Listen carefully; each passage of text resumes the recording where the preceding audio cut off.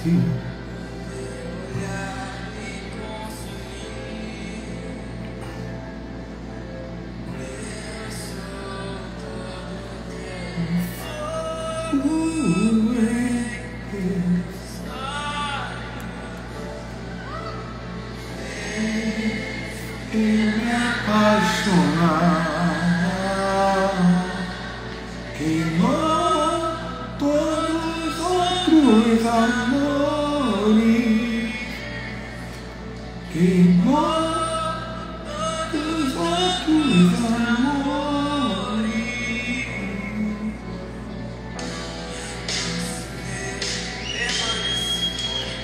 Teu olhar me consumiu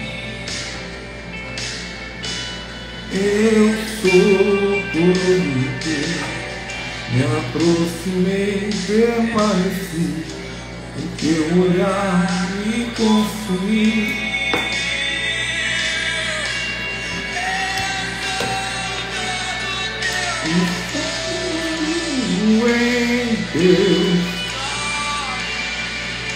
Deus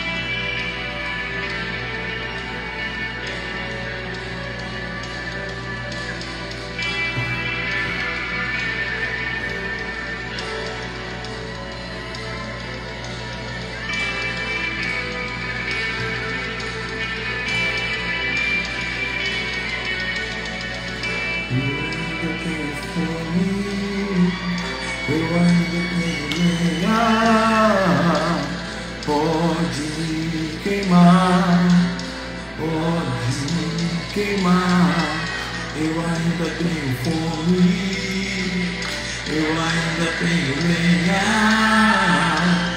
pode me queimar, pode me queimar.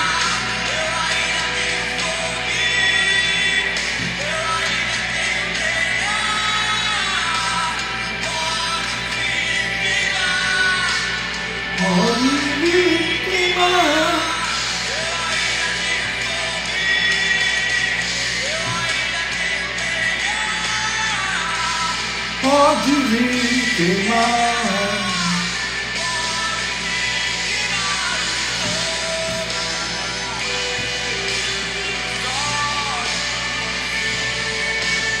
Fez me apaixonar. Queimou todos os outros amores.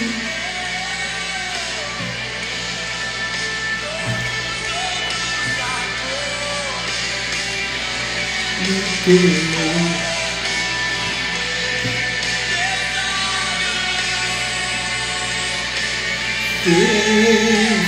eu me apaixonar.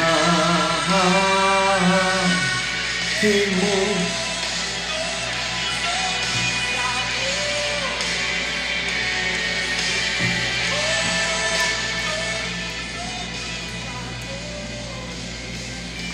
Amém, minha gente. Shalom.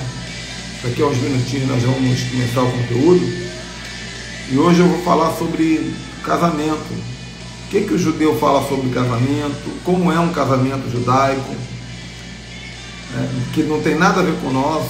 Eu ainda vou, eu ainda vou contar alguns paganismos que nós praticamos no nosso casamento aqui no Ocidente. Então fique aí, convide alguém, gente, convida alguém, convida aí 10 pessoas, faça a sua parte.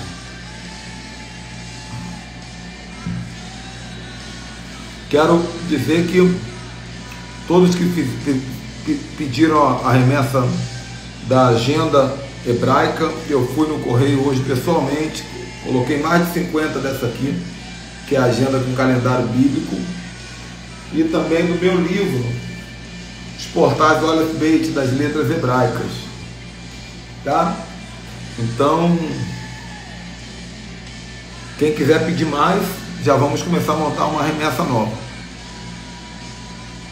Deixa eu botar o carregador aqui no meu celular. Eu esqueci. Pronto. Ok. Amém, gente? Tudo bem com vocês? Shabbat Shalom, né? Vou esperar só uns minutinhos, vamos ver se o povo chega. Me ajudem aí a fazer esse povo chegar.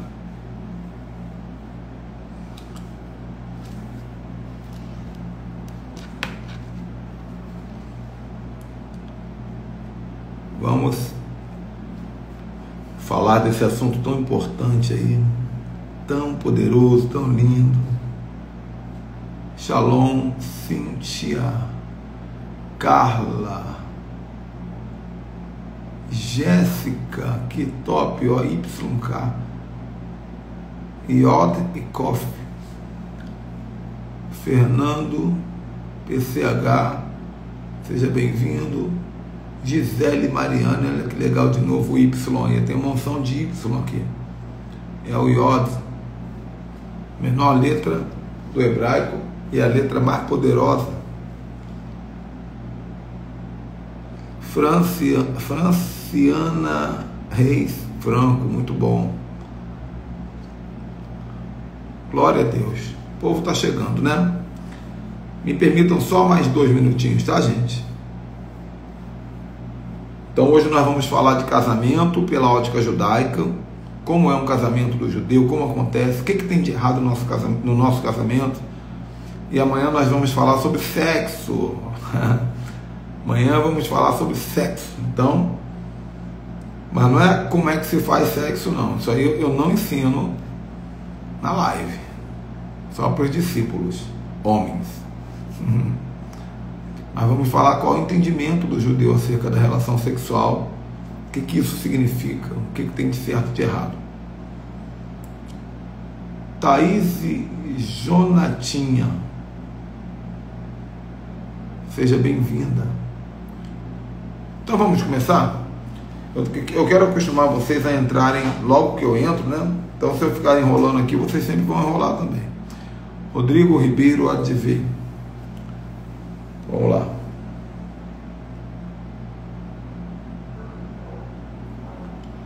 Pronto.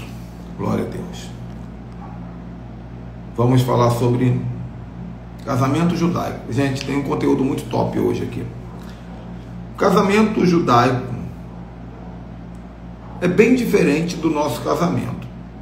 E o que eu vou falar agora, logo na introdução, já vai te impactar muito. Porque o nosso casamento, gente, o nosso casamento, ele, ele vem de culturas pagãs que trazem rituais que não fazem sentido nenhum. E que o judaísmo faz exatamente o contrário. Você vai entender. Por exemplo, no judaísmo, a noiva entra primeiro. A noiva entra primeiro. O noivo vem depois. Porque o noivo representa o Machia, o Messias. E eles dizem: Nós estamos primeiro aguardando o Messias. Agora você vê, o judeu que não reconheceu Jesus como Messias respeita mais o Messias no dia do casamento do que nós. Porque o nosso casamento é o contrário. Porque se o noivo representa Jesus, o noivo entra primeiro e a, e a noiva fica andando de carro ao redor do, do, do quarteirão, da quadra, para fazer showzinho, né? Para dizer, se a igreja estiver cheia, eu entro. vou atrasar, porque atrasar, quem manda sou eu. Na verdade, nessa brincadeirinha, a noiva não tem ideia, mas ela está dizendo que o espírito de Jezabel já está dominando o casamento. Porque só pode ser o espírito de Jezabel que deixa o noivo esperando, que deixa o pastor, que representa o próprio Deus, esperando. Então você vai vendo que a nossa cultura de casamento é uma cultura esquisita e sem identidade. Você já percebeu que a coisa mais feia que tem é a roupa de madrinha? Me perdoe, gente. Minha mulher foi madrinha cinco vezes. Ah, apóstolo, roupa de madrinha não é feia, não. Então por que você não usa essa roupa no dia a dia? Por que você não vai para a igreja com ela? Por que a roupa de madrinha é tão rebuscada, tão, tão esquisita para a nossa cultura? Porque é uma imitação da cultura europeia, que, que não combina com a nossa roupa. Então, não há identidade no nosso tipo de casamento. Não há identidade. É verdade. Não faz sentido. Obrigado por me seguir, Fabi Giacomelli. Muito obrigado. Não faz sentido. Então, o, o, o o noivo entra, a noiva chega atrasada, aquele monte de padrinho vestido de, de, de pinguim, com aquela roupa alugada de 50 reais, aquele monte de madrinha com aquelas roupas horrorosas, com, a, com a, tanta maquiagem na cara que não dá nem para saber quem está lá atrás. E o pastor faz aquela pregação que a noiva não escuta, porque ela está pensando que se a maquiagem derreteu ou se não derreteu. O noivo também não escuta a pregação porque ele está pensando em que horas que ele vai fazer sexo. E quando acaba, joga um pó de arroz no casal, que é uma cultura chinesa, uma cultura oriental, de, de, da bênção de deuses orientais. E depois o casal vai para a lua de mel. O que, que significa lua de mel? Lua de mel é uma. A lua de mel vem da cultura nórdica, da cultura viking.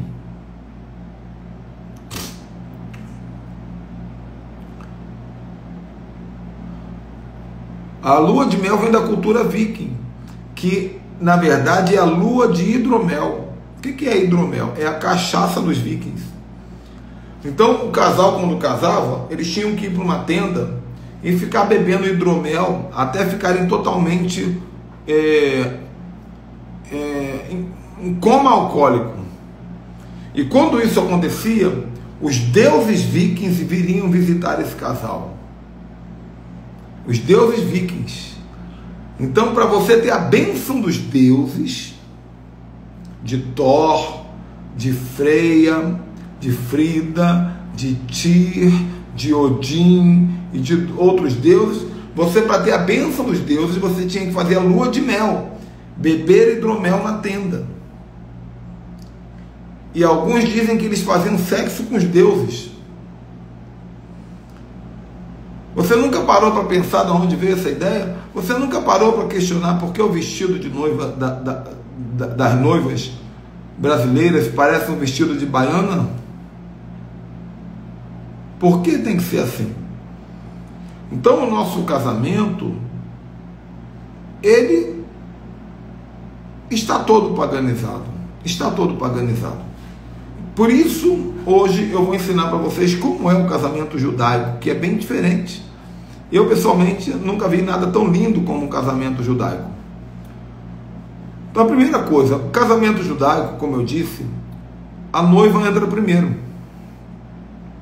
Aliás, a noiva, é, a noiva entra primeiro.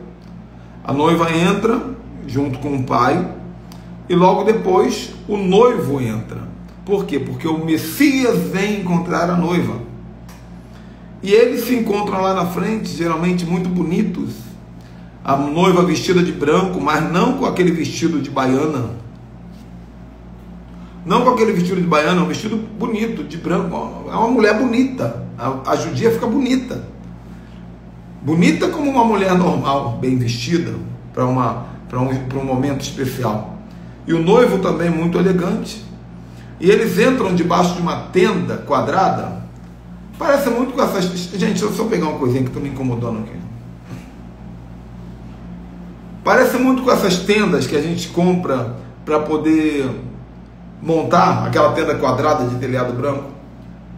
Então eles entram debaixo de uma tenda quadrada chamada uh, Rupá, Rupá. E essa tenda tem que ser de quatro pés, porque representa o presente, passado, futuro e o novo tempo que esse casamento vai viver. O casamento tem que acontecer debaixo da tenda. Os visitantes não, mas o, o, o, o casal sim. O casal tem que estar debaixo da tenda. E eles ornamentam a tenda colorido, bonitinho, e a tenda tem que ser coberta. Pode ser feita de palha, pode ser feita de tecido, não importa. Tem que ter a tenda, porque a tenda representa Deus sobre o casamento, assim como o quipazinho na cabeça representa Deus sobre a cabeça. E a mulher usa um lenço ou, às vezes, uma peruca, porque representa Deus sobre a cabeça. O noivo, ele entra ao toque do chofar. Sabia disso? Agora você entendeu porque se diz na palavra que o anjo vai tocar a trombeta no dia que Jesus voltar? Porque o noivo entra no toque do chofar. Sabe? Então ali o rabino vai dar as bênçãos, a palavra, e eles vão proferir os votos um para o outro, um, um clima muito bonito. E eles vão quebrar um prato de porcelana. Às vezes esse prato ele é quebrado antes, quando o contrato do casamento é assinado. E por que quebra um prato de porcelana? Para lembrar que assim como uma porcelana quando cai no chão se quebra e não dá mais para consertar, Assim também um casamento que quando se quebra não tem mais como consertar. Por isso, cuide do seu casamento. E eles também quebram uma taça. No final do casamento, eles quebram uma taça. E essa taça, na verdade, representa expulsando o espírito de inveja. Porque se tem um momento em que a inveja se levanta é quando o casamento acontece, né? Então eles fazem essas coisas. Não pode casar no sábado, que é o Shabat, que é o dia de hoje, ó. Hoje não pode ter casamento judaico. Evangélico casa no sábado. É para casar no sábado que domingo tem quanto? Culto para Jesus. Culto é todo dia, minha gente. Então não pode casar no sábado, porque o sábado é um dia do descanso. Se tem uma coisa que dá trabalho é casamento. Né? Então são coisas que vão acontecer. Outra coisa que tem no casamento judaico é dança. O noivo dança com a, com a mulher dança com danças judaicas, e o povo celebra junto, dança ao redor do casal. Né? Aí o evangélico diz: dança, dança não é de Deus. Outra coisa que acontece é que no meio da dança, no meio da alegria da festa, porque eles bebem vinho, né? Tá todo mundo feliz. E aí o povo levanta, os homens levantam o noivo no alto e começam a dançar com ele no alto. E as mulheres levantam a, a, a noiva no alto e começam a dançar. Então é uma festa muito linda, gente. Não é igual a nossa que depois que casa fica só ouvindo Cassiano e comendo salgadinho até o final da noite, não. Tem muita diversão, tem muito momento especial. Tá? Agora, é uma live rápida, objetiva. Talvez vocês possam perguntar algumas coisas aí já já. Mas vamos lá. Eu já falei como é um casamento cristão. Eu acabei de falar também como é um casamento judaico, resumidamente, claro. Ele usa, o homem usa o talit e o kippazinho na cabeça, que representa a cobertura de Deus na vida. Isso tudo acontece no casamento. Agora, que o judeu fala sobre casamento? O judeu entende que casamento é uma mitzvah, que, que é uma mitzvah, apóstolo Ricardo? Uma mitzvah é uma lei. É uma lei. Então vamos ver essa lei?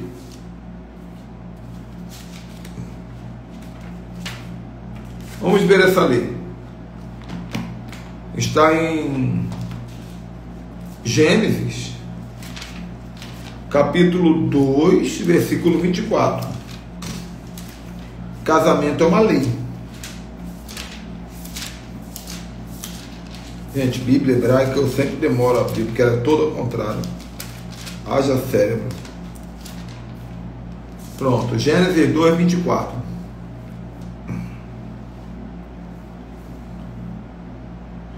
Essa é a razão de o homem deixar pai e mãe e se unir a uma mulher, e eles se tornarão uma só carne.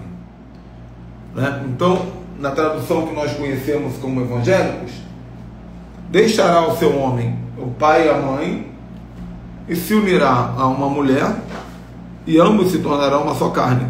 Isso é uma lei. É a primeira lei da Bíblia.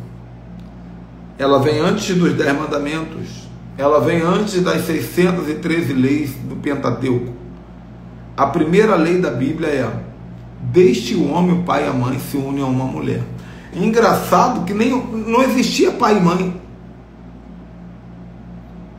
Então a profecia de Deus foi tão linda que Deus estava dizendo: Adão, a sua descendência vai ter um negócio chamado pai e mãe, que você não sabe o que é. E eles vão ter que deixar o pai e a mãe para se unir à mulher e se tornar como você era antes, costela dentro do corpo, uma só carne. Porque Deus criou o homem e a mulher no mesmo corpo, né, gente? Você sabia que Deus criou o homem e a mulher no mesmo corpo? Vamos para a Bíblia? Gênesis 1,18. Deus criou o homem e a mulher no mesmo corpo. Depois, se você achar que faz sentido o que eu estou falando, compartilha essa live com alguém, por favor, para nós aumentarmos o alcance da mensagem, né? Eu tenho pedido nas minhas orações que Deus aumente o alcance dessa mensagem que eu falo aqui. Então, toda vez que eu vejo uma pessoa nova nos seguindo, eu fico feliz porque é fruto de oração. Gênesis capítulo 1, versículo 18.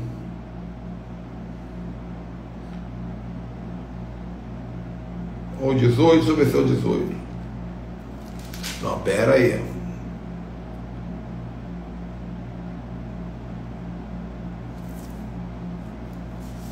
Vinte e seis.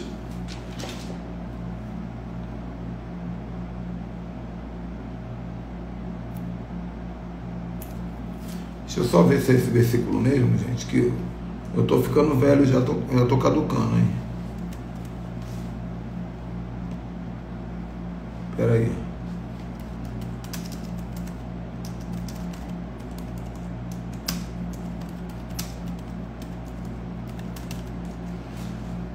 É isso mesmo. Gênesis 1, 27. Está aqui na minha cara, eu não vi. Portanto, Deus criou o homem à sua imagem. A imagem de Deus o criou. Macho e fêmea os criou. 27. Deus criou o homem à sua imagem. Mas para. Se aqui está dizendo que Deus criou o homem macho e fêmea, no versículo 1, 27, então por que no 2, 18, diz assim: Não é bom que o homem fique só, farei para ele uma mulher, uma companheira.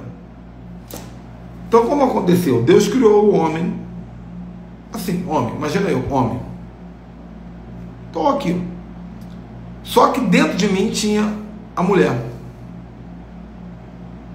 Ah, é hermafrodita? Não. É híbrido? Não. É um homem com a mulher dentro. Já estava pronto, funcionava igual. Era uma plenitude. Uma plenitude. O homem não sentia. É... Aliás, o homem sentia falta de uma mulher, porque ele não sabia que estava dentro dele. E a Bíblia vai mostrar em Gênesis capítulo 1 que Deus foi criando tudo dizendo que é bom, né? Tudo que Deus fazia dizia, isso é bom. Ó, Deus disse que a água debaixo do céu seja reunida num lugar, a terra seca apareça, e assim aconteceu. E Deus chamou a terra seca de terra, e a reunião de água ele chamou de mares, e disse Deus que era bom. Então Deus foi dizendo para uma coisa bom, bom, bom, bom, bom, bom, bom daqui, bom dali, bom daqui, bom dali. E de repente, em Gênesis 2, capítulo 18, Deus diz assim: não é bom. Não é bom. O primeiro não é bom dito por Deus. Não é bom que o homem esteja só. Farei para ele, aliás, farei para ele uma adjutora coidônia. Só que Deus, na verdade, não fez Eva. Deus, na verdade, não fez Eva. Porque Adão foi feito por Deus. Adão foi feito do pó da terra, Eva não. Eva não foi feita do pó da terra. Deus botou Adão num profundo sono, ferrou a lateral de Adão e tirou um osso. Esse osso foi gerando vida, foi crescendo o corpo ao redor do osso. E aí era Eva. Eva.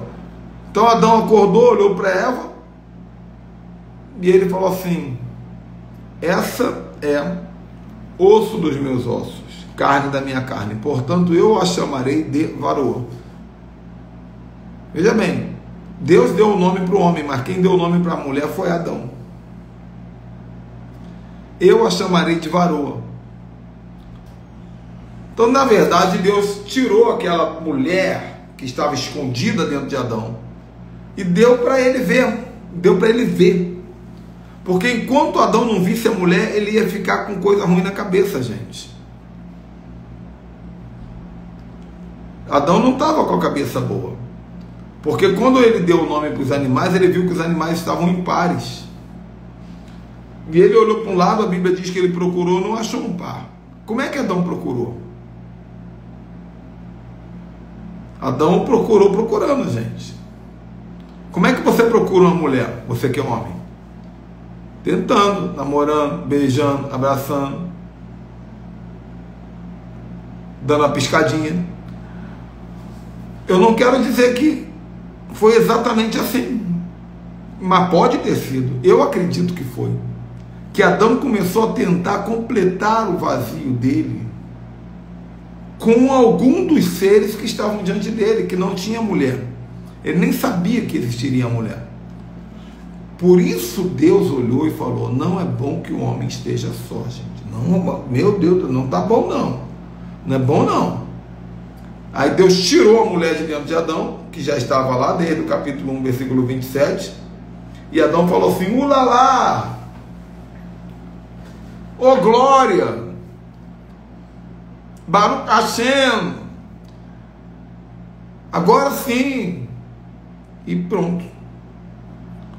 E prova de que a teoria que eu tenho faz sentido é que Deus vai lá e fala assim: portanto, deixará o homem seu pai e a mãe, se unirá a uma mulher e se tornarão ou voltarão a ser. Gênesis capítulo 1, versículo 27. Macho e fêmea os criou, uma só carne. Então, quando você casa, quando você casa, se você casa direito, se é um amor de verdade, se é um casamento dentro das regras divinas, você, você é uma só carne. Barro com osso. Porque Adão era barro, Eva era osso. Coisa linda, né? Dizem que a mulher é vaso mais frágil, né? Mas se jogar o barro no chão, ele quebra. Se jogar um osso, quebra não. Então, continuando o raciocínio. Deus não fez o homem para ficar sozinho. Deus não fez o homem para ficar com o ser errado. Tem muito homem que está caçando o ser errado. Tem muito homem que tem a mulher já dentro dele, entre aspas, né, que é o casamento. Ele tem a mulher dentro dele, mas ele fica procurando mulher do lado de fora. Procura girafa, procura elefoa, procura jacaré, procura a cobra, procura, né? Sei lá, procura do lado de fora. E Deus está dizendo, cara, você não viu, a mulher está do teu lado. Olha a Eva aí que eu te dei. Não é bom que você fique assim.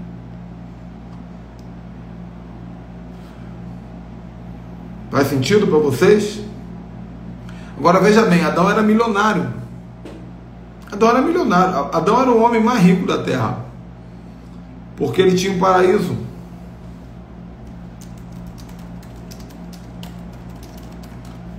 Ele tinha um paraíso. Adão era milionário antes de Eva. Depois também, claro.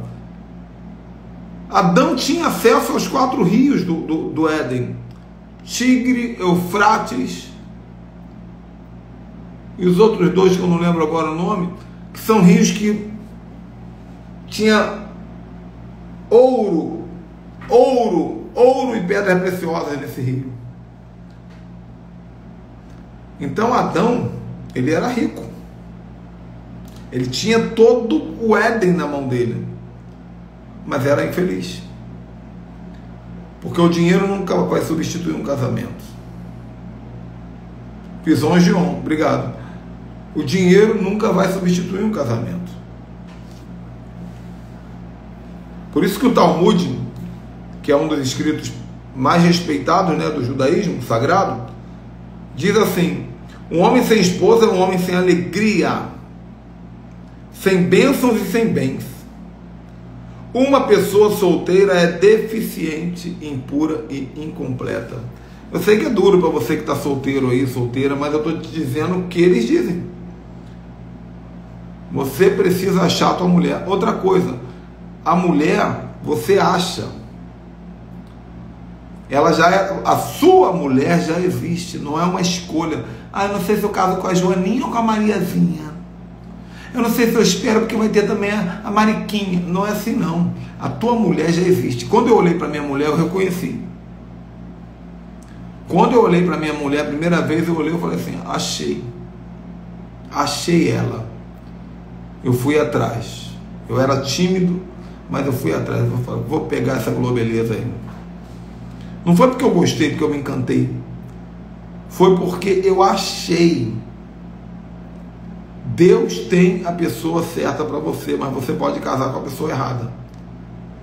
E quando você casa com a pessoa errada, você prejudica a tua vida, prejudica a vida dessa pessoa, prejudica a vida da, da pessoa que ia casar com ela e prejudica a pessoa que ia casar com você.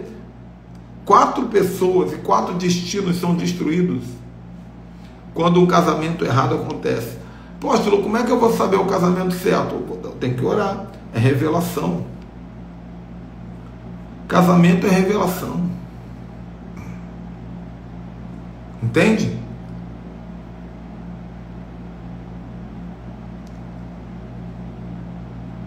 Nós não podemos fingir que temos intimidade com Deus. Ou você tem ou não tem. Quando Isaac foi casar, foi Isaac, né? Sim, Isaac. Isaac mandou na verdade, Abraão mandou o mordomo Eliezer até a mulher que seria a esposa de seu filho, por revelação. Então, você precisa entender que, mesmo que a sua amada esteja no Japão, mesmo que o seu amado esteja no presídio de Bangu 1, é com ele, é com ela que você vai ter que casar. Então você precisa pedir que Deus faça essa conexão acontecer. Deus vai fazer. Né? Por isso que diz: Eu sou do meu amado, o meu amado é meu. O Talmud vai dizer o seguinte: Antes da criação de uma criança, antes de uma criança nascer, Deus define com quem ela vai se casar. Quando meus filhos eram pequenininhos, eu já orava, Senhor, guarda a menina do meu filho para ela não, ela não se prostituir, para ela não fazer isso quando ela crescer, para ela não sofrer dentro de casa. Eu orava desde desde pequeno dos meus filhos, porque eu, só, eu sei que só tem uma pessoa. Então, antes de Deus lançar uma criança na terra, ele já sabe com quem ela vai casar. E essa é a teoria que embasa o que nós chamamos de amor à primeira vista. Né? O meu amado Deus já levou. Né? A irmã está dizendo: Glória a Deus, espero que você tenha amado bastante. E agora você é viúva. Existe um ministério para você na Bíblia. Por isso que a Bíblia diz que tem que cuidar das viúvas. Porque muitas vezes a viúva vai falar assim: eu preciso casar de novo porque alguém tem que cuidar de mim. Mas a Bíblia manda cuidar das viúvas. Então, gente, quando você olha para uma mulher e você fala assim: nossa, isso é amor à primeira vista. Não é amor à primeira vista, é eu achei. Eu achei. Finalmente eu encontrei. Só de olhar para ela eu sei que é ela. Só de olhar para ele eu sei que é ele. Eu reconheci, eu te achei. Isso é eu sou do meu amado e ele é meu. E para finalizar, para finalizar, também há uma, uma cultura, uma, um entendimento na cultura judaica, não está escrito isso na, na Torá, mas está escrito nos livros dos sábios que cada um de nós carregamos uma luz.